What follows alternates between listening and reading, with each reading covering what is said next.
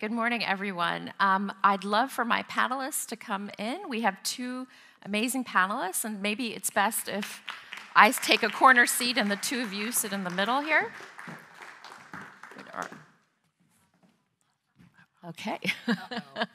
so, as Stormy mentioned, um, I think the purpose of this sort of early morning discussion, which will be quick as a primer for the rest of the day, is about the state of the transatlantic relationship and looking at two sort of quintessential strands the security relationship and the trade and economic relationship. And I think um, we'll also talk a little bit about um, the digital um, relationship as well, specifically because this is a conference on um, German American uh, trade and tech.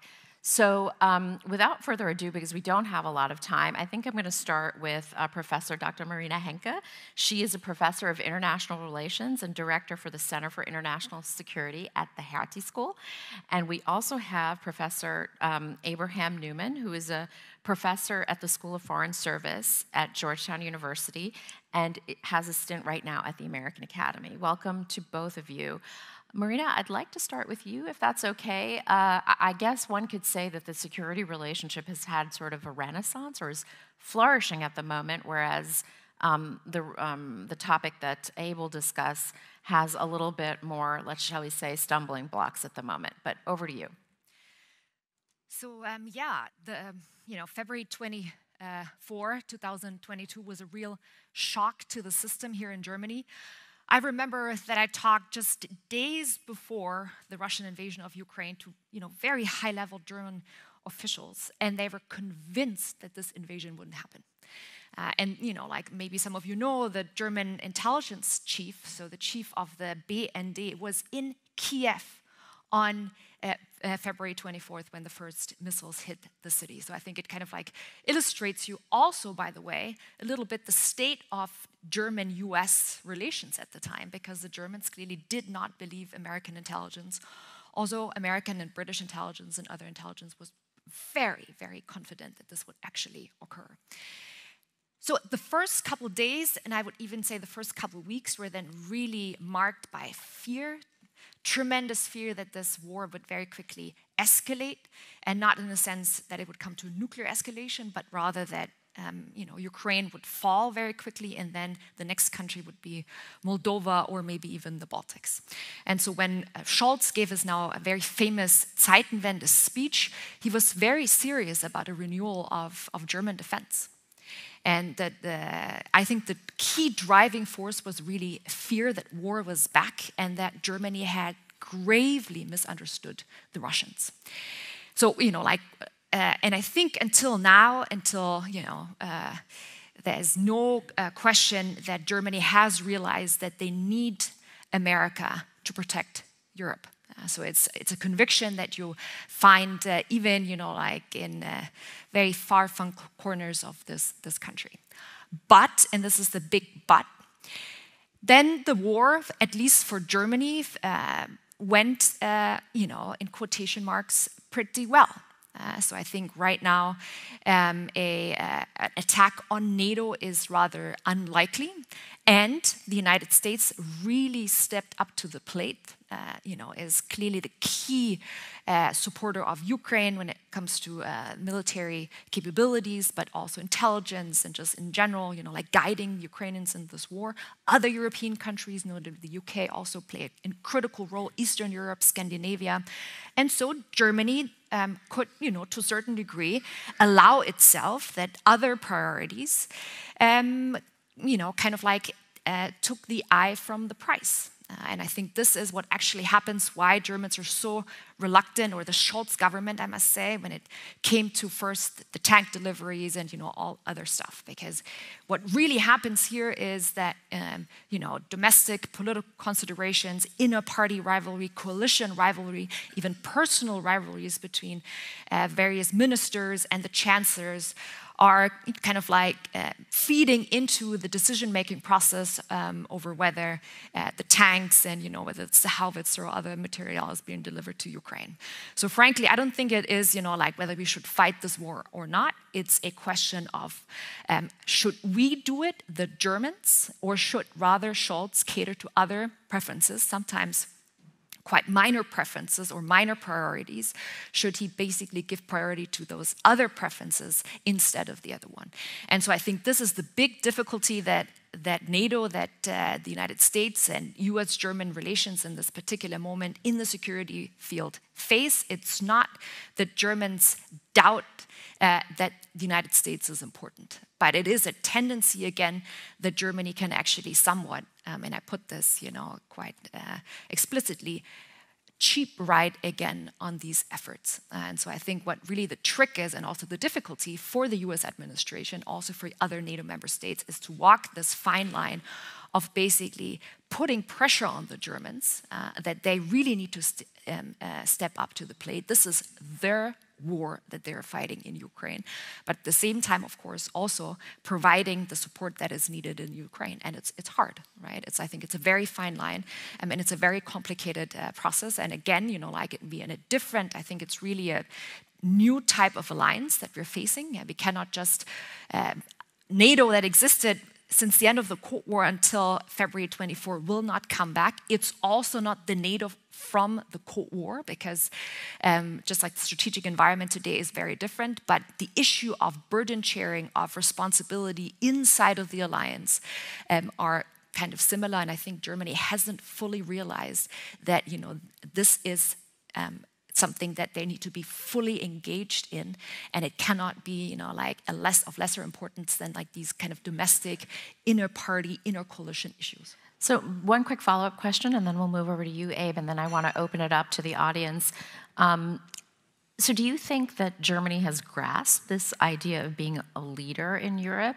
It seems to me that, in terms of the military role, German, Germany has still not fully embraced this idea that it could be sort of a coordinator in Europe. And do you think this, um, the sentiment of strategic autonomy is now out the window? And if not Germany, could Germany do it with another partner, perhaps France, together with Poland, although that relationship is quite fraught as well?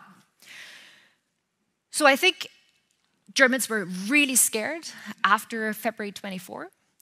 But then a month in, two months in, when they realized, oh, this is actually going pretty well, and the Americans are again helping out, why should they take the leadership role because being a leader is difficult and really implementing Zeitenwende is also very, very costly. Uh, so why do all this if somebody else is doing it, right? And, uh, and this is, you know, the current state of play. Uh, there is the, the pressure and the fear and the real necessity to pick up that leadership is not fully felt in Germany. And that's, you know, I think explains to a large degree the behavior. So, Abe, over to you. I mean, the trading relationship between Europe and the United States is solid. It's prolific. It's been an anchor in the relationship for over, um, you know, 70 years. But it seems like when you talk to decision makers here in Berlin, there is a lot of disappointment, almost animosity towards Washington right now because of the Investment Reduction Act. But even before that, um, the relationship on digital and internet issues there seems to have been some, it, it hasn't always been perfect. And um, love to get your thoughts on the state of play. Great. Um, so I, I, think the, the biggest issue is that um, the transatlantic relationship had a very simple, I would say, fairy tale. It was a caricature, it was a story that uh, underpinned it. And if you've ever gone to an ambassador from any country, either in the US or Europe, they'll tell you the same thing. There's a rules based international order, which leads to a gain from trade. It's Ricardo kind of spun up into this transatlantic world where we all win if we open our markets and we trade. And that story also came with a subtext, which was that it'll be a peaceful world this world where we all gain from opening our markets in a rules based order. You know, you can just hear the, the mantra just kind of lulling you to sleep um, about what it was. Okay, and um, basically, that fairy tale uh, has blown up. And you know, uh, Vice President Vestager, she gave this speech a few months ago where she said there's been a, a, a harsh awakening to a world of weaponized interdependence.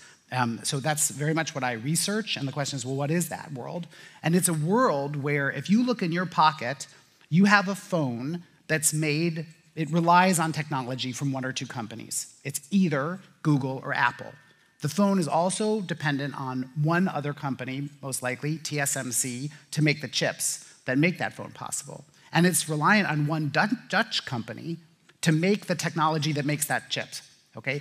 That concentration, that centralization in the hands of just a few companies is now being used by governments to fight their wars. And so if you think about what's happening in the US technology relationship with China, it's about conditioning access to those core technologies.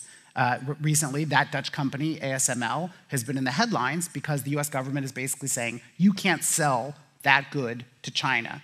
And, and why is that? Is China going to make nuclear weapons from that chip? No. But it's that everything has become a dual use issue.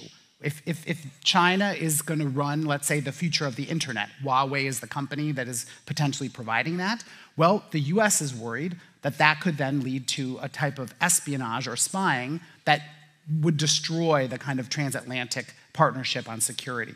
And so that simple story, Ricardo, gains from trade, we all win in a world of trade, has been undermined by the fact that really what has happened is a, an immense concentration in technology in the hands of the few, and states using that to put pressure on their adversaries.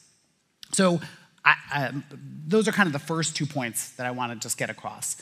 The third is that I think there are real risks for the transatlantic relationship right now, and, and the most, which I think everybody is very aware of, is just decoupling. It's the concern that the pressure that is being put on uh, Europe vis-a-vis China or the US vis-a-vis China will lead to a fragmentation in global markets. And I don't need to tell the people from Baden-Württemberg uh, how much of money is on, at, at, stake in that relationship. And you see that tension right now uh, with the chancellor's trip to China where you know he tried to walk this line which i thought was very interesting where he said we want interdependence without dependence which is a great line but almost the next, you know, right around that time, uh, the Hamburger Hafen, the port, a, a large percentage gets sold to a Chinese company. And so it's like, okay, there's a nice, you know, Stichwort, but how does it get translated into policy? And how do we guarantee that we actually get interdependence without dependence? And that, I think, is really uh, up for grabs. And one of the ways that it could go is into this more decoupling area.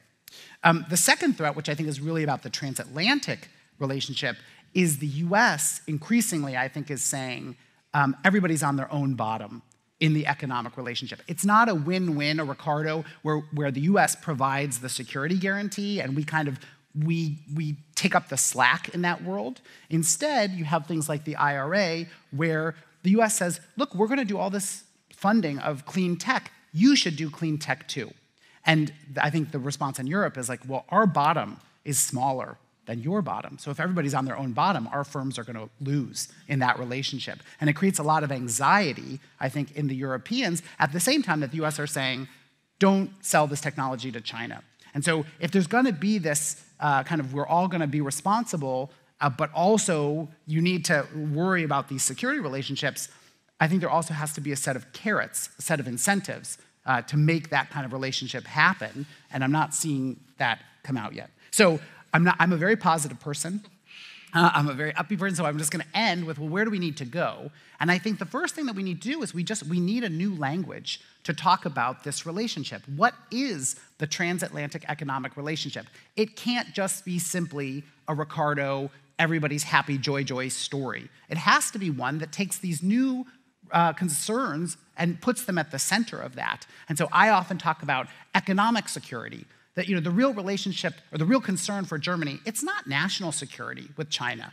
China's not going to invade Germany. You know, the, it's it's an economic security. It's about will Germany still have the free movement to make the decisions it wants to make with these economic dependencies on China. So if you're the United States, if you keep bashing Germany over the head and say, well, you need to you know, deal with this national security issue, I think it's just going to land on deaf ears. But there is a new language that could be created that says we all understand the risks of dependence. Look at COVID. You know, if there's too much or if there's too little slack in the system, there's going to be breakdowns, whether it's by chance or political. And so we need to prepare for that. We need to have redundancies in the system that will prevent these bad things from happening. Um, and the last thing that I would just say is that I think the transatlantic relationship in the economic sphere needs to think about how, if we're not going to do a rules based international order, that fairy tale story, then how do we embed our alliance partners into economic networks where that group of country wins and they can depend on each other? There's a lot of words that are said, like friendshoring, um, and and they're nice they're nice words but uh, i think in the end everybody's kind of like well, are we really friends? Like how, how, how do we know who's the friend and who's not the friend? And so there needs to be a structure in place where that can be predictable where that can be dependable. Because you can't just throw around words. You need to also have money and institutions that underpin them. And that's where i think the the Trade and Tech Council, it's like the start of that story, but it really needs to be embedded in an ongoing effort where real you know, meat is on the table, whether it's through money, commitments, um, but also, you know, the level of the players that are involved, that they keep this conversation going in a real way rather than just some kind of cheap talk. Okay, I definitely want to get to questions in the audience. So if you could just sort of motion, I see one gentleman over there. I will get to you in one second, or and or actually, sorry, I see somebody over there, and then um, Abe, maybe just quickly, I mean, that's a really interesting, I mean, the tech was set up exactly for dealing with these sort of misunderstandings. And people say, I mean, the Biden administration is probably the best thing we can get right now in transatlantic um, relations. But you're saying it's not enough and it's just empty words, and this narrative needs to sort of, we need to get to concrete solutions. Do you see that happening in the next two years? I mean, we are facing an election in 2024. And then I'd love for you to um, ask your question. Ma'am, go ahead.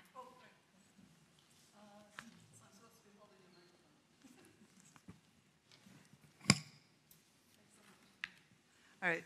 Uh, Joanna Bryson, uh, Professor of Ethics and Technology at the Hertie School uh, here in Berlin. Um, I, first, I just want to say very quickly to reinforce what uh, Professor Henke said.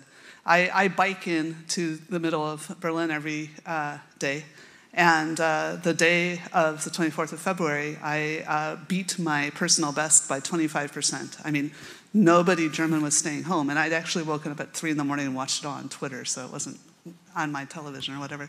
Anyway, my question is, that, uh, that, that belief, that strong belief that we academics have to take some uh, blame for, you know, that this, this, the, first the democratic peace that had transitioned to the trade peace theory. Um, uh, I've seen indication that Russia may have believed it too. So that Russia believed that Germany was too dependent and that they had too tight a trading thing. So Russia, that, that Russia may have expected Germany to slow down NATO even more than it has. So I was wondering if you could talk about the sort of that two-sidedness, like we heard yesterday, of these kinds of relationships. I guess maybe we can, both of you can comment, but I mean, that's a very interesting question because you're saying that it's, there's really no national security issue for Germany, but what if Taiwan is attacked? It does sort of become a national security issue for um, Germany as well when Volkswagen is heavily invested in China. Great. So let me just take, I think the I think the Biden administration has done an amazing job um, in the transatlantic space, both in the security uh, area, but also trying to uh, reassure and revive the economic space. But I think that we all lack a language to describe what is this world that we're in now and how do we manage it. You, you still hear Jake Sullivan, uh, the US National Security Advisor, saying, well, we need to depend on the rules based order. But at least when I have conversations in Berlin, everybody wants to believe that. But I don't think very many people really think that's what's happening anymore. If you look at the rules based order in the trade sphere, it's basically more Bund. And so, what, you know, how do, how, what is this new world and what is the language? And I don't think it's the Biden administration's job to come up with that language. I mean, surely they can help, but we all are part of that. And we have to come up with a set of stories, whether it's about we're an economic sphere based on certain values. That could be a set of stories. We're about climate change. We're about helping the middle class. We're, you know, that's the goal of this relationship. Or it could be a slightly different one, which is we are a set of allies, and our economic relationship is to promote the wealth of those allies as we go forward. Anyway, but we need, a, we need a, a new perspective, I think, on how do we, how do we motivate the sacrifice that's necessary to collaborate. Um, on the second point about the two sidedness, I think this is an amazing point. It's really important because um, a lot of times what I'm hearing right now is kind of uh, this, this concern about the US, the IRA, that you know, the US isn't really thinking about us. But if you turn the story and you think about German subventions to the energy prices in Europe, and you listen to what Europeans are saying, they're saying the same thing. They're saying, you went alone, you did this without consulting us. And why is that happening? It's because these decisions are largely domestic, they're driven by domestic politics. There's a crisis, there's an issue. The US, the IRA, it's not a global package, it's a domestic policy climate change package. And you could make the same argument about the European Green Deal. The European Green Deal, which was passed several years ago, one of its provisions was we're going to phase out in Europe of natural gas.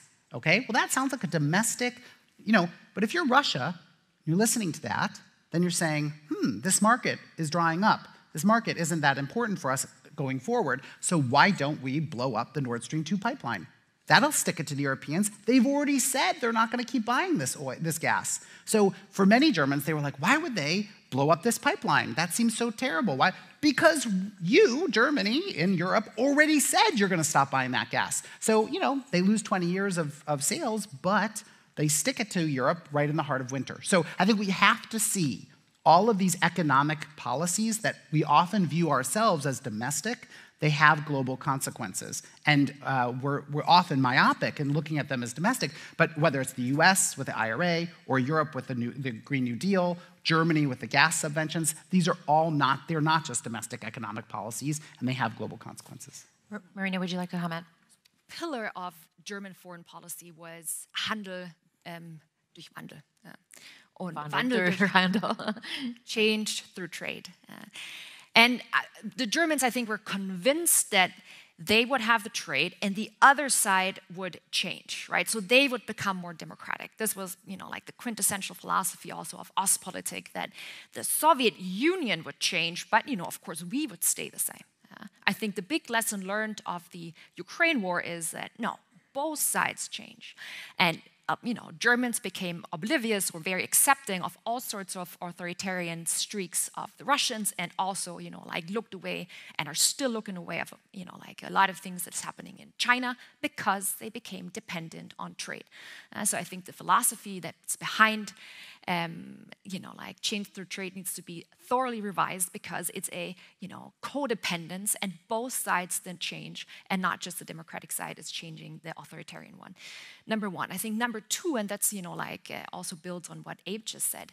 I think the transatlantic relationship from the German perspective is kind of like we're winning on all fronts. We're, you know, getting basically free, uh, free security, more or less. Every once in a while, we have to pay a little bit, and we have also all the benefits on the economic front. You know, like um, in one form or another, uh, you know, like the United States gives us the security bonus that you were alluding to. And I think what needs to be crystal clear now, but I think it hasn't fully arrived yet, is that there are costs and benefits, like in everything, like in every relationship, there are costs and there are benefits. And so I think, but sometimes maybe from the US side, this needs to be communicated, communicated clear. What are the costs to Germany right now, to Europe? Well, you need to pay for your uh, part in the Ukraine war. This is your war. And you know, also you need to pay uh, in uh, China, and you cannot just like you know benefit from these from these uh, trading relationships, and also expect America to protect you. Uh. so we are actually past time allotted, but if there is one more question, it looks like we will oblige. Go ahead. Yeah, thank you very much. Uh, I'm Ingmar I'm CEO of Climate and Company, uh, Sustainable Finance think tank. Um, so, uh, talking about misunderstandings and finding a common language, um, two very short propositions. So, one is we, um, what Eisen, why Eisenhower supported the New Deal was because we needed to show that the majority of people under in the free world were better off than people under communism. Isn't that this kind of value proposition that, that I think we're sharing across the Atlantic and shouldn't we build on that? That the majority of people are better off in, in, in, our kind of system compared to authoritarian regimes that we're competing with? And, and the second bit is um, shouldn't maybe good economic theory and empirical evidence become again the basis for trade policy? Because I don't see anybody holding up that flag on either side of the Atlantic. We're putting up tariff barriers rather than analyzing how the distributionary impacts of trade policy that um, moving beyond Ricardo and going to Stolper Samuelson, we know that workers in more developed countries are worse off. That was exactly the effect we, we should expect. But then we didn't really, really do anything about it because we claimed that capital and labor are, are not sticky, but they are. And, and, and, and that's how we uh, have so much skepticism about free trade. And I'm not hearing that common language. And I always thought us as academics are trying to provide that common language, which is evidence. And, uh, and I'm just wondering if you have any hope for this to become a bit uh, more, more, more, more of a serious conversation again of how we can make free trade agreements work for everybody. Abe, why don't you take the second part of his question, and if you want to comment on the first, that's fine. But I'd love to get Marina's thoughts, uh, especially on this, you know, autocracy versus democracy divide, and aren't we all better off if we the democracies stick together? Yeah, I mean, I, I think the reality is is that the there is not a political consensus for a return to the kind of free trade system that we had for much of the post-war period, and part of that is just pure domestic politics. I think that it's very difficult for politicians to say we should open ourselves up right now. And, and, and it's just the reality. I think that the, both on the left and the right, it becomes very difficult. But I think the other issue is that it's all in the context of greater competition amongst the great powers. So the United States, China, the European Union, there's more tension about who has the power. And, in, and I would say it was Ricardo, like it was Ricardo and the beast, if you want to call the United States the beast. The US was guaranteeing that they would give up a little bit more so that everybody else could play in this rules based order. And they were kind of guaranteeing that the rules kept people kept following them. And now the United States is pulling back to some extent, and so it's much more difficult to you know, who's the cop that's making sure those rules get played by? And without that, it, it, it's quite uh, difficult to keep the, the, the motor of free trade running. So I think the big question is what does it mean to be better off? Because the truth is Chinese soft power is built on economic prosperity, right? I mean, why is China to a certain degree, especially in developing countries, considered a model because they lifted millions of their own citizens out of poverty. So I think what we really need to discuss is that it's not just about economic prosperity, because one could make an argument that authoritarian regimes can also produce economic prosperity under certain circumstances. But it is that in democracies we have freedom right? Um, and so I think just to focus this narrative on economic prosperity, what was kind of the case during the Cold War, I think is, is wrong. Uh, so we need to actually come up with a new narrative that focuses on other aspects, maybe even, you know, um, environmental sustainability, uh, but a, a, lifestyle that values also human rights. And uh, yes, I like the idea, and you know, like the US is pushing this very much that it's about democracies and autocracies, but then also, you know, it kind of creates cleavages that sometimes are maybe unnecessary. We see a lot of um, fence sitters that, you know, I want to bring in into our fold, and that to a certain degree, you know, are countries in Latin America, that are countries in, in um, Africa, and by just like saying you're only talking to democracies, and this is a struggle between democracy and autocracy, we're keeping countries out that might not be democracies right now, but have a potential to evolve. So I think in this sense, you know, I, um, we need to be more inclusive. And by the way, this is also a big challenge of the transatlantic community because um, it cannot be the West against everybody else. It needs to be much more inclusive. But what is the narrative that we are providing to these other countries? And, you know, like I'm heading to uh, Munich uh, tomorrow, and they're also, you know, like we need to, how can we include a Brazil? How can we include a South Africa? Because in the big picture of things, this conflict that we are seeing is not between the West and China, but it needs to be much larger, and we need to bring in all sorts of other countries that do not identify with the West right now. Thank you so much, Professor Henke and Professor Newman. You teed us off um, for the rest of the day, and all of you could continue working on this idea of a new narrative uh, based on some of their inputs. So um, enjoy the rest of your conference, and thank you for your attention. Thank you. Yeah.